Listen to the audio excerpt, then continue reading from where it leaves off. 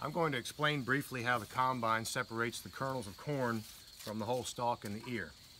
As you drive into the field, you have to line up the rows, which are oriented here with the rows of corn in the field. The stalk gets pulled into the stripping rolls, and the stripping rolls, which you might not be able to see well, have sharp teeth on them, which actually engage the stalk and pull the stalk down.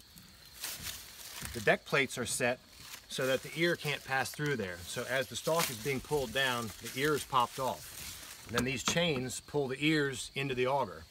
From there, all the ears, which would just be this part, are fed to the center where they go into the feeder house and up to the threshing cylinder.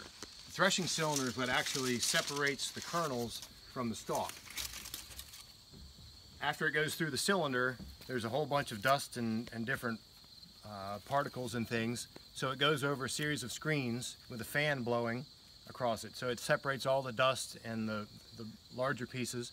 The kernels fall down through and from there they're elevated to the top where the hopper is on top of the machine collects all the corn.